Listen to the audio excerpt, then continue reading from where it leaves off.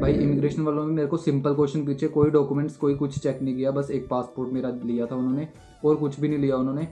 उन्होंने भी मेरे को सिंपल क्वेश्चन पूछे, भाई, कहाँ पे जाओगे, कहाँ पे घूमोगे, क्या प्लान है, कितने डॉलर्स आप कैरी कर रहे हो भाई?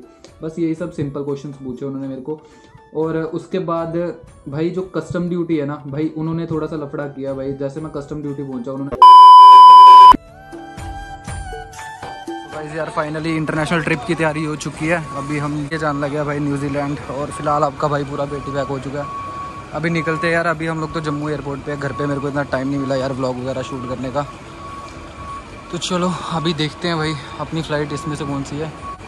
तो गाइज़ अभी चलते हैं पहले बोर्डिंग पास लेते हैं, फिर आगे देखते हैं। सो गाइज़ फाइनली जा रहे हैं अपने वेटिंग एरिया में भाई। हमारा गेट नंबर चार है यहाँ से देखो। बोर्डिंग पास वगैरह सब मिल गया और अभी निकल रहे हैं फ़िलहाल।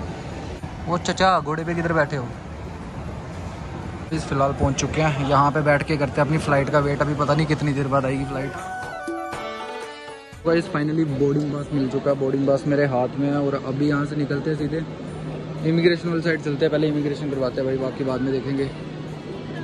तो भाई अभी फ़िलहाल इमिग्रेशन वगैरह हो चुकी है भाई। जो इमिग्रेशन ऑफिसर था ना वो मेरे को थोड़ा सा रूट लगा भाई। उसने पता नहीं यार मेरे को ऐसा लगा या उस, उसका ऐसा कुछ मोटिव था कि हाँ मेरे को ऐसा लगा कि उसने मेरा मज़ाक वगैरह उड़ा रहा था मतलब दोनों जने मिलकर मज़ाक उड़ाते थे। पर चलो, कोई बात नहीं गाइस तो भाई, हम लोग अभी पहुँच चुके हैं दिल्ली ड्यूटी फ्री भाई, देख लो आप भी। तो भाई, अगर कोई आप में से दारू दूरू का शौकीन है, यहाँ पे आ सकता भाई। आराम से अपनी बोतलें वगैरह लेके जाओ। भाई, शड़ी बोतलें बोतलें, दारू वाले, बंदों के लिए तो जन्नत है भाई। देखो भाई, शड़ी बोतलें लगी हुई हैं।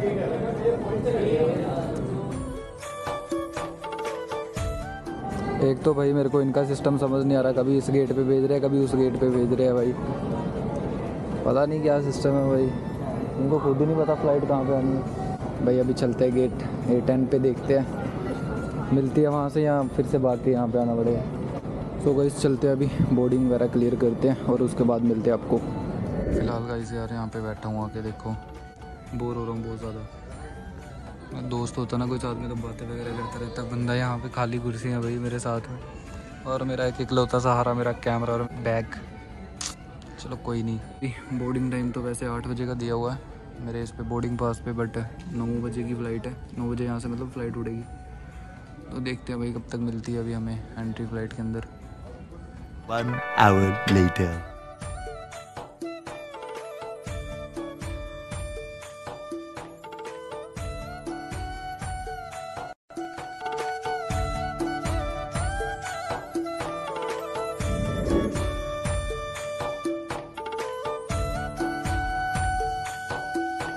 तो गाइस यार, अभी मैं ओकलैंड एयरपोर्ट पे हूँ और यार, एक प्रॉब्लम हो गया। मेरा कैमरा जो है, मेरे बैग में रह गया था भाई। जो कि मेरा बैग था भाई लगेज वो ना मतलब प्लेन प्लेन के अंदर रखवा दिया था भाई। पहले मैंने कैबिन में रखा हुआ था बाद में बट उन्होंने एयर होस्टेस ने ना ट्रांसफ़र करवा दिया था। तो उस वजह से यार, मेरा कैमरा ना उसी बैग में चले गया और मेरे सारे डॉक्यूमेंट्स भी उसी बैग में चले गए। अब खाली मेरे पास पार्ट पासपोर्ट और बोर्डिंग पास है खाली अपना। अभी देखते यार, क्या सीन रहता है। फ़िलहाल बैग लेने। की पूरी कोशिश रहेगी भाई, अभी पहले, सबसे पहले तो बैग ही लेंगे यार। और फ़िलहाल यार, यहाँ का वेदर बहुत अच्छा लग रहा है मेरे को, देख लो आप भी भाई। तो चलो यार गाइस चलते हैं, पहले बैग लेते हैं अपना यार, बाकी सब बाद में देखेंगे यार, क्योंकि उसमें सारी ज़रूरी चीज़ें उसमें ही हैं। अभी अच्छा हो गया मैंने पैसे बैग में नहीं रखे थे, पैसे मेरे पास ही थे। चलो यार, सबसे पहले बैग ले लेते हैं, बाकी बाद में देखते हैं। हाँ भाई, तुम्हारा भाई पहुँच चुका है न्यूजीलैंड में भाई। अभी मैं एयरपोर्ट के बाहर आ गया हूँ और भाई अभी ना आप लोगों को एक चीज़ के ऊपर ना मैंने अपडेट देनी थी भाई कि आप लोग ना इमिग्रेशन से डरते रहते हो। बट भाई इमिग्रेशन ना कुछ भी नहीं है। जो कुछ भी होता भाई कस्टम ड्यूटीज़ पे होता सब कुछ वहाँ पे भाई, आपके बैग वगैरह की चेकिंग होती है और वो कंफर्म करते हैं पूरा बंदा सच में जेनुअल ट्रैवलर है या नहीं है भाई। ये सब चीज़ें रहती है। चलो, बाकी सारे अपडेट्स ना आपको मैं कहीं रुक के देता हूँ भाई। अभी मेरे को यहाँ से जाना पड़ेगा पहले, अपने होटल चलते हैं। बाकी होटल जाके रेस्ट वगैरह करते हैं, वहाँ पे फिर आपको अपडेट्स देते हैं। बाकी ये देखो, यहाँ के भाई न्यूजीलैंड का एयरपोर्ट भाई। और मौसम फ़िलहाल बहुत ज़्यादा बढ़िया भाई, यहाँ पे मज़ा ही आ गया। चलो भाई चलते हैं। दो घंटे भाई चैन की सांस लेने के बाद अभी निकलते हैं यहाँ से भाई, बाहर चलते थोड़ा नाइट लाइफ को एक्सप्लोर करते हैं भाई, कैसे है यहाँ की नाइट लाइफ और भाई बाकी तो अभी कुछ पता नहीं है मेरे को यहाँ का इतना ज़्यादा। चलो देखते हैं क्या सीन रहता है भाई आगे जाके। अरे यहाँ पे भाई जीप रैंगलर की देख लो, दहशत भाई कैसी लग रही है, खतरनाक लग रही है ना भाई। तो भाई थार थार इसका एक मिनी वर्जन है भाई, सही वाली जीप तो यही है भाई एक। तो भाई देखते हैं अभी थोड़ा बहुत नाइट लाइफ को भी एक्सप्लोर करते हैं भाई, बाकी मेरे को यहाँ का इतना ज़्यादा पता वगैरह नहीं है, कुछ कहाँ पे जाना है, कहाँ पे नहीं, फ़िलहाल याद रखूँगा भाई, यहाँ से आया और पता चले वैन से भूल गया अपने घर का पता भी। अपने इंडिया में क्या है कि ज़्यादातर मतलब बाइक्स वगैरह भी देखने के लिए मिल जाती हैं। बट यहाँ पे मैं बोलूँगा कि 90 परसेंट तक गाड़ियाँ ही देखने को मिलेंगी। बाइक्स के नाम पे यहाँ पे ये मिलेगा भाई। और यहाँ पे ज़्यादा 90 परसेंट तक कार्स ही देखने के लिए मिलेंगी। चलो ये भी सही है। वैसे हम जैसे मोटो ब्लॉगर्स के लिए ये बात बहुत दुख भरी है भाई। तो गाइज़ यार, बाकी आपको पता है कि मेरा कंटेंट जो है मेन मोटो ब्लॉगिंग का तो आज मैं ब्लॉग कर रहा हूँ भाई। तो देखते हैं भाई, एक बाइक का अगर जुगाड़ हो जाए यहाँ पे किसी तरह, और एक हेलमेट का जुगाड़ हो जाए तो आपको मोटो ब्लॉग्स भी दिखाएँगे मस्त मस्त। ओपन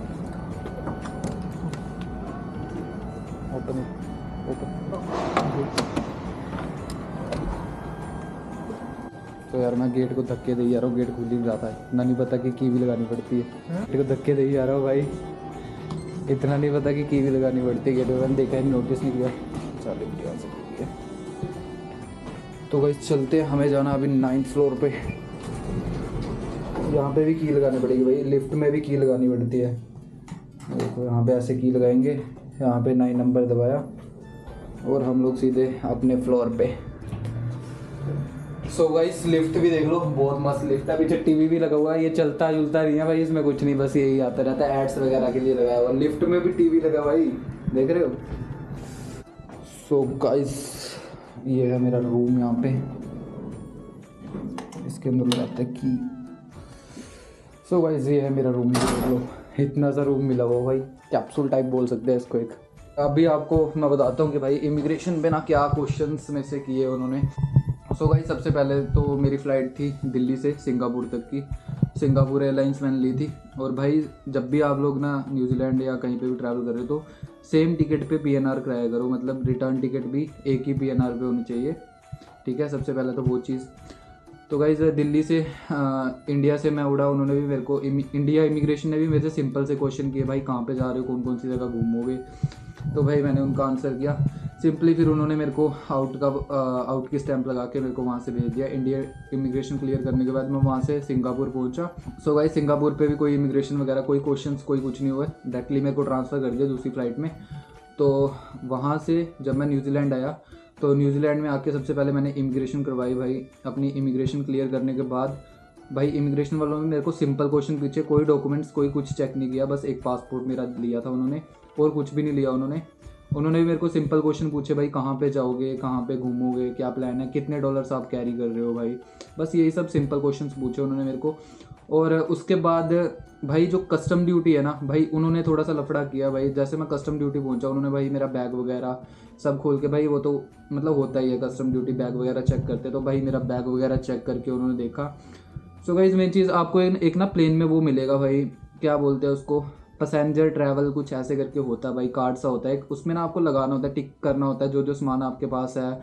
आप कितने दिन के लिए न्यूजीलैंड में स्टे कर रहे हो, क्या करने वाले हो, क्या नहीं करने वाले, ठीक है?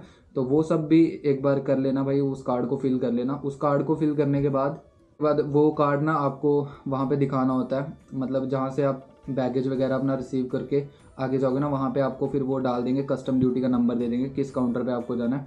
वहाँ पे जाके भाई कस्टम ड्यूटी ऑफिसर होगा, वो गाइज़ जो मेरे को ऑफिसर मिला था, वो तो इंडियन था तो मेरे को थोड़ा बोलने में मतलब कन्वर्सेशन करने में मेरे को आसानी होगी, थोड़ी हिंदी में ही कन्वर्सेशन होगी थी हमारी। तो गाइज़ वहाँ पे आपका बैग वगैरह चेक किया जाएगा। तो मैं तो बोलता हूँ कि गाइज़ यार, अगर आप आ रहे हो ना तो ज़्यादा सामान मत कैरी करो, सिर्फ़ अपने कपड़े वगैरह और भाई ये साबुन वगैरह, ये सब कुछ लाने की ज़रूरत नहीं है। वो सब यहाँ पे मिल जाएगा। तो कपड़े वगैरह अपने नॉर्मल चीज़ें लाओ, खाने पीने वाला ज़्यादा पैकेज फ़ूड वगैरह मत लाओ।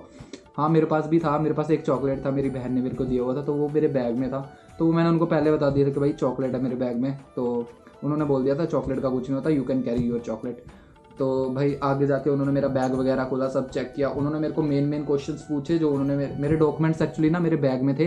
तो उन्होंने मेरे डॉक्यूमेंट्स देखे, मेरे ट्रैवलर आइटनरी देखी, उन्होंने मेरे को पूछा, कहाँ कहाँ जा रहे हो भाई घूमने के लिए? मैंने उनको बताया कि मैं यहाँ पे जा रहा हूँ। फिर उन्होंने मेरे से पूछा, आपके पास कितने डॉलर्स है? फिर मैंने उनको बताया कि मेरे पास इतने डॉलर्स है भाई। तो मेरे पास actually three thousand and three hundred dollars थे भाई। तो वो सब देखा उन्होंने। उसके बाद उन्होंने मेरे को पूछा कि भाई आ, क्या करने जा रहे हो? तो मैंने उनको बोला कि हाँ मैं घूमने के लिए चाह रहा हूँ भाई।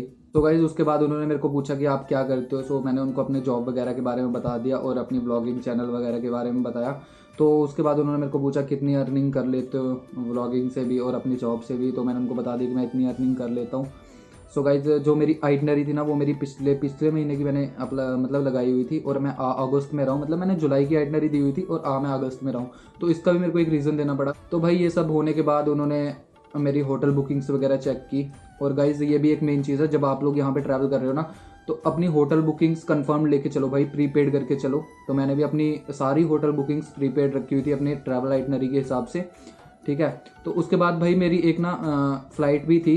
क्रिस्चर से ऑकलैंड तक की कंफर्म फ़्लाइट थी। तो उन्होंने मेरे को पूछा, आप यहाँ से मतलब ऑकलैंड से क्रिस्चर तक कैसे जाओगे? तो मैंने उनको बोला कि ऑकलैंड से क्रिस्चर जाने तक की डेस्टिनेशन में मेरे और भी मतलब प्लेसेस है जहाँ पे मैंने ट्रैवल करना है और मैंने घूमना वगैरह तो मैं लोकल ट्रांसपोर्ट यूज़ करूँगा बाय मेट्रो और बाय बस ठीक है? और आने के लिए मेरे पास क्रिस्चर से ओकलैंड तक की फ़्लाइट टिकट थी भाई एक कन्फर्मेशन के लिए। ठीक है? तो फ़्लाइट टिकट कर लेना भाई, इतनी महँगी भी नहीं होती डोमेस्टिक फ़्लाइट होती है, आपको छः सात हज़ार में मिल जाएगी आराम से। उसके बाद भाई सिंपली वो ऑफिसर गया, उसने कॉल वगैरह की मेरे होटल में कंफर्म वगैरह किया। उसके बाद उसने मेरे को बोला, अपना बैग पैक करो। और उसके बाद वो बंदा मेरे को बाहर तक छोड़ के आ गया। तो उसके बाद आपका भाई न्यूजीलैंड से आउट हो गया, और उसके बाद अभी हम लोग अपने रूम में बैठे, ये देख लो भाई। ठीक है गाइज़ और गाइज़ यार, आपको पता है कि जैसे मेरा मेन कंटेंट है जो कि मोटो ब्लॉगिंग का है तो आप लोग मेरे को बताना कि मेरे को क्या करना चाहिए मोटो ब्लॉगिंग कंटिन्यू करूँ यहाँ पे मैं कि सिंपल ब्लॉगिंग ही करूँ? भाई वैसे तो अभी मेरे पास बाइक वगैरह है नहीं यहाँ पे तो देखते हैं भाई बाइक वगैरह का अगर कहीं से सीन हो जाएगा, थोड़ा बाइक भी अरेंज कर लेंगे हेलमेट वगैरह भी अरेंज कर लेंगे थोड़ा। तो गाइज़ यही कुछ चीज़ें थी जो आपसे डिस्कस करनी थी और कई लोग इमिग्रेशन को भी लेके बहुत टेंशन रहते तो भाई इतनी ज़्यादा टेंशन लेने की ज़रूरत नहीं है बट बस आपको वहाँ पे कूल रहना है नर्वस नहीं होना है, आराम से मज़े से उनके हर एक क्वेश्चन का आंसर देना है। और अगर आपको इंग्लिश नहीं आती है तो वो आपको ना गूगल मतलब फ़ोन में ही गूगल ट्रांसलेटर खोल के आपको बता भी देते हैं भाई। और अगर आप ज़्यादा रिक्वेस्ट करोगे तो आपको एक ट्रांसलेटर भी मिल जाएगा भाई। ठीक है गाइस तो यही सारी चीज़ें थी। बाकी आज के ब्लॉग को गाइस करते यही पे एंड होप सो कि आपको आज का ब्लॉग देख के मज़ा आएगा। बाकी हम लोग कल एक्सप्लोर करेंगे थोड़ा थोड़ा बहुत और वो भी आपको बता देंगे। आज गाइज़ मेरे पास सिम कार्ड नहीं था। और गाइज़ यहाँ पे वोडाफोन का सिम कार्ड चलता है। तो अगर आपके पास हो वोडाफोन का सिम कार्ड तो इंटरनेशनल रोमिंग करके आप लोग आ सकते हो यहाँ पे। ठीक है तो गाइज़ बस यही था कुछ आज का ब्लॉग और ये थोड़ी सी इन्फॉर्मेशन दी आपको। और मिलते हैं आपको एक ऐसे मस्त नेक्स्ट ब्लॉग में। तब तक के लिए bye bye and take care guys